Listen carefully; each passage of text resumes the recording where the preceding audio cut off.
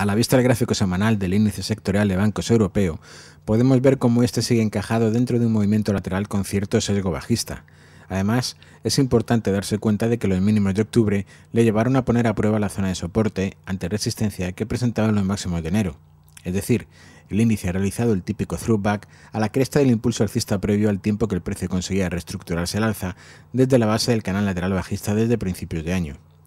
Es cierto que está lejos de superar importantes niveles de resistencia, pero al menos sabemos que en la medida en que no se perforen los mínimos de octubre, lo lógico sería que poco a poco intentara dirigirse al menos hacia la parte superior del canal, en los 152.50, con la intención de terminar buscando los máximos anuales en los 163.34.